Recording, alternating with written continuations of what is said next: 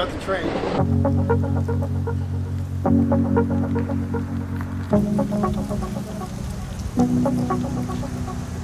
Tell me who you are, where are we, and uh, what are we doing?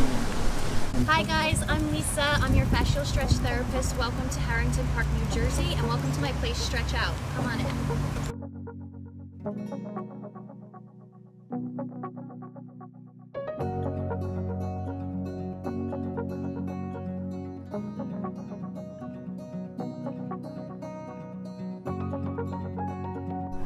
We're all set up for Lisa's interview. We have two cameras. The main one is a 55 lens. It's going to be from about hip to the top of the head, framing with a nice background.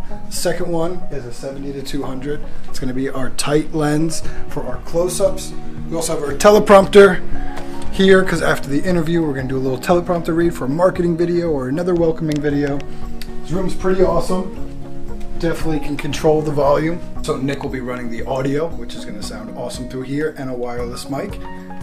One key light, the Astra Bipanel 6x, amazing light. We use it on all the corporate work. So that's gonna light the whole room without any shadows. Have a little practical back here, just to kind of give it a little bit of light. And it's yellow, so it's a little bit warm. And uh, I like this on the wall. So this is our frame, this is our room. This is where all uh, the B-roll will be going down afterwards. So stick around.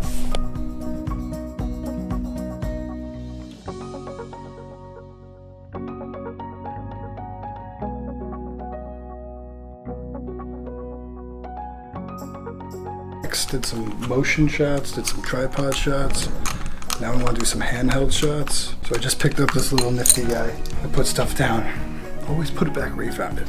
It's a little handheld thing, just clamps on there. Just gives you a little more stabilization. Just picked it up. It's pretty cool.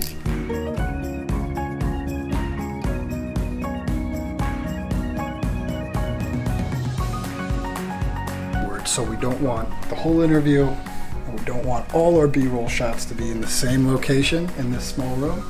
So I'm gonna grab some shots with Chloe right after we're done here.